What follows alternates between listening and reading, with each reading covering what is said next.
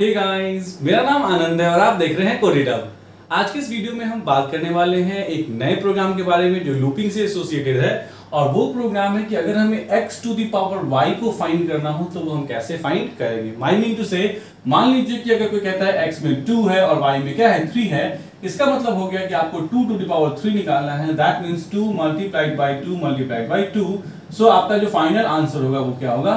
8 सो so ये है आज का प्रोग्राम कि आपको क्या करना है? X to the power y, यानी कि 2 टू द पावर 3 अगर x की वैल्यू 2 है और y की वैल्यू 3 है कुछ भी हो सकती है वैल्यू ये फाइंड आउट करना है। तो चलिए स्टार्ट करते हैं।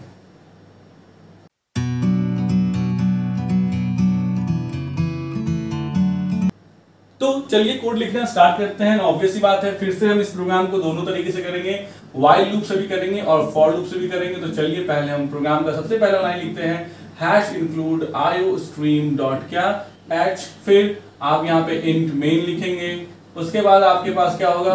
आपके पास एक इंटीजर टाइप का एक एक्स लेना है आपको और एक वाई लेना है, क्योंकि ऑब्वियसली बात है एक्स की वैल्यू यूज़र से पूछेंगे आप और वाई की वैल्यू यूज़र से पूछेंगे, है ना?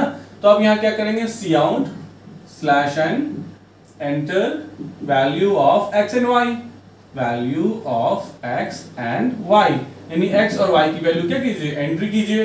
और कहा रीड कर लेंगे उसको हम? एक को एक्स में रीड कर लेंगे, एक को किसमें रीड कर लेंगे? वाई में रीड कर लेंगे।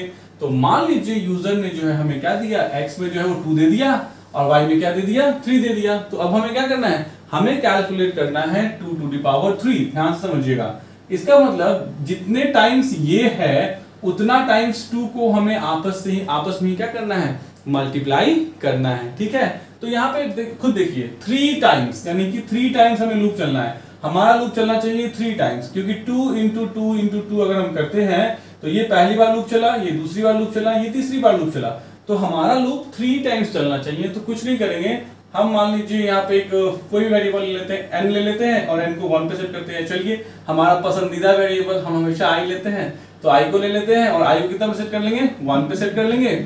और यहाँ पे लूप लगाएँगे जब तक कि आई इज़ लेस देन और इक्वल टू वॉट हमारा ये तीन जो है किसमें है? वाई में है ना? तो I is less equal to what Y तब तक हमें मल्टीप्लाई करना है। देखिए, आपस में हमें क्या करना है? मल्टीप्लाई करना है। तो मल्टीप्लाई करने के लिए मान लीजिए मैं प्रो नाम का वेरिएबल लेता हूँ। और आपको पता है वन पे क्यों सेट करते हैं?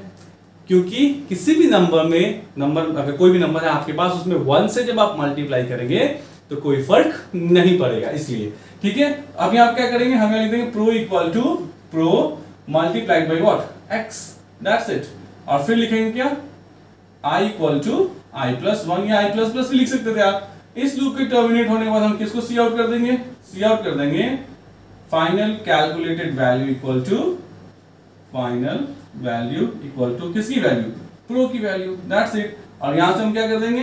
Return zero program terminated successfully ये रहा आपका प्रोग्राम आप कहेंगे, सर, कैसे ये काम करेगा? तो चलिए इसका एग्जीक्यूशन भी करके देखते हैं। और मेरे कॉन्सेप्ट में इसी चीज़ को मैं क्या कहता हूँ? मैं कहता हूँ इसको ड्राई रन ठीक है? तो अगर हम बात करें आई की सेटिंग पे तो आई को हम कितना पे सेट कर रहे हैं? तो आई को हम सेट कर रहे हैं वन पे, ठीक है? While I is equal to Y I की वैल्यू जब तक तो छोटी है तो बराबर है वाई के। आई में कितना है? वन वाई में कितना है? थ्री वन छोटा है थ्री से बिल्कुल सही है। तो ये स्टेटमेंट और ये स्टेटमेंट बारी बारी से एग्जीक्यूट होंगे। तो पहला स्टेटमेंट क्या है? Product equal to product multiplied by X so product में कितना सेट किए थे? देखिए तो शुरू प्रोडक्ट में वन सेट था ना तो वन मल्टीप्लाइड बाई एक्स की वैल्यू कितनी है? टू तो one multiplied by two is what two I को एक से बढ़ा दीजिए। आई कितना हो गया? टू हो गया। अब ये लूप है तो ये यहाँ से कहाँ जाएगा? फिर ऊपर जाके कंडीशन चेक करेगा, क्योंकि लूप यही कहता है कि जब तक कंडीशन ट्रू है, मैं बार बार बार बार एग्जीक्यूट करते रहूँगा। तो यहाँ पे क्या होगा? Pro I less equal to I फिर से चेक होगा। तो आई में कितना है? Two two is less than three बिल्कुल सही बात है। फिर से ये लाइन एग्जीक्यूट होगा। कौन सा? Pro equal to pro multiplied by x so pro की वैल्यू कितनी है? टू मल्टीप्लाई बाई एक्स की वैल्यू कितनी है इस बार? एक्स की वैल्यू अभी भी टू ही है। तो टू इंटू टू कितना हो गया? फोर हो गया। I equal to i plus one तो आई की वैल्यू कितनी होगी? थ्री हो गई। यहाँ से जब ये ऊपर जाएगा i less than equal to y i में कितना है? Three three is less than three no but equal to sign भी लगा हुआ है ना? इसीलिए yes three is equal to three इस बार भी लूप चलेगा। क्या होगा? Product equal to product into x so, product equal to product multiplied by x. What is the value of pro? Pro की वैल्यू कितनी है? 4 है. Multiplied by x की वैल्यू कितनी है? तो x की वैल्यू अभी भी 2 ही है. तो 4 2 जा कितना हो गया? 8 हो गया. ठीक है? अब i को फिर से 1 से इंक्रीज करेगा. i कितना हो जाएगा? 4 ये फिर से ऊपर जाके कंडीशन चेक करेगा कि आई की वैल्यू छोटी है वाई से. आई में कितना है? फोर फोर छोटा है थ्री से? नहीं. आई की वैल्यू बराबर है वाई के? यानी कि फोर जो है बराबर है थ्री के? नहीं. तो यहाँ से लेके यहाँ तक का काम खत्म।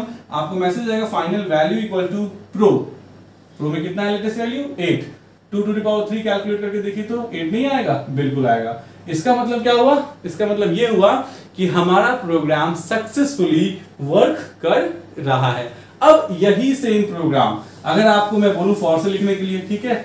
हमने मैंने यही स्ट्रेटेजी अपनाई है इस बार कि। मैं, पिछली बार मैंने जो भी ट्यूटोरियल्स बनाए थे उसमें मैंने सिर्फ़ वाइल से बनाया था और बहुत कम प्रोग्राम फॉर से बनाए थे। इस बार जो कि जावा में आप देखोगे या पाइथन में देखोगे आप तो यहाँ पे मैंने क्या किया इस बार? मैंने जानबूझ के सारा प्रोग्राम जो है वो वाइल से बना दिया फॉर से बना दिया, ताकि बच्चों को जिससे करना है उससे उसको क्या कर सकते हैं पढ़ सकते हैं। तो देखिए फॉर में कुछ नहीं करना होता सेम देखिए, मैं सेम चीज़ें रेप्लीकेट कर रहा हूँ। एक्स वाई ठीक है? और देखिए, मैंने यहाँ आई नाम का वेरिएबल माना हाँ मान लिया चलिए आई और प्रो की तरफ़ सेट किया आपने, हमने वन पे सेट किया। फिर यहाँ पे बिल्कुल वही सेम मैसेज जो यहाँ पे हमने लिखा है enter value of x and y slash and enter value of x and y ठीक है, अब जो भी वैल्यूज़ यूज़र देगा, उसको एक्स में और किसमें? वाई में रीड कर लेंगे। अब यहाँ पे, यहाँ से मेरा शुरू होता है फॉर का सेक्शन यही तो मतलब लूपिंग का सेक्शन और इसी को तो हमें कन्वर्ट कर देना फॉर में। तो इसको फॉर में कैसे कन्वर्ट करेंगे? तो फॉर लूप लगाएँगे। फॉर लूप में क्या होता है सबसे पहले? बताइए, सबसे पहले इनिशियलाइजेशन तो आई को हमने कितना सेट किया है? वन पे दे दिया। I equal to one initialization फिर कंडीशन होता है i less than equal to y ठीक है? और फिर क्या होता है? इंक्रीमेंट और decrement i equal to i plus one या आई प्लस प्लस आपकी मर्ज़ी। अब इसके बाद सिर्फ़ एक ही स्टेटमेंट बच जाता है ना pro equal to pro into x तो कर्ली पैसेज देने की कोई ज़रूरत नहीं है। ठीक है? आप चाहे तो दे सकते हैं, लेकिन अगर आप देंगे, इसका मतलब ये कि आपको इतना भी नहीं पता कि हर एक कंट्रोल स्टेटमेंट या फॉर हो या इफ़ हो या वाइल हो अपने बात के एक स्टेटमेंट को खुद ब खुद अपने अंदर समझता है, अपना पार्ट समझता है, इसीलिए कर्ली ब्रेसेस की ज़रूरत नहीं होती है। लेकिन अगर जैसे ही एक से दो हो जाएगा स्टेटमेंट तो कर्ली ब्रेसेस आपको देना पड़ेगा, क्योंकि बाय डिफ़ॉल्ट ये खुद से एक को ही अपने साथ मानता है, ठीक है? तो अब यहाँ पे प्रो का निकल गया मेरा वैल्यू यहाँ पे मैं क्या कर दूँगा? प्रिंट कर दूँगा। क्या? सी आउट स्लैश एन यहाँ पे आपने मैसेज क्या दिया था फाइनल वैल्यू इक्वल टू यहाँ पे वही दे दीजिए फाइनल वैल्यू इक्वल टू किसकी वैल्यू तो प्रो की वैल्यू और यहाँ से आप रिटर्न क्या कर दीजिए ज़ीरो यानी प्रोग्राम एग्जीक्यूटेड सक्सेसफुली आपने बंद कर दिया अपना क्या?